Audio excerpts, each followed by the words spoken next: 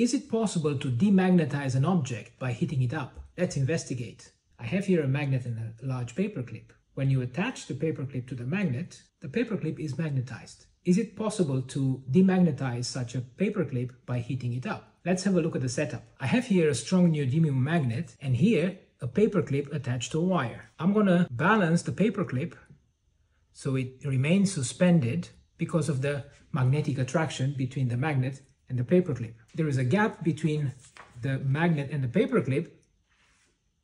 As you can see, this is paper, and here is a metal, copper. So let's try to heat up the paperclip.